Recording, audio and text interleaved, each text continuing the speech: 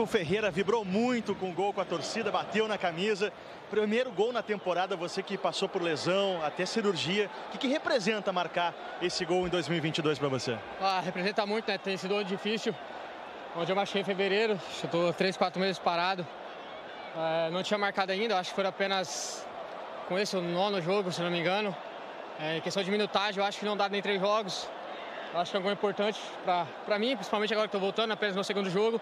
Eu acho a confiança para o restante da temporada. Volta para o segundo tempo? Quero que volte sim, volte sim.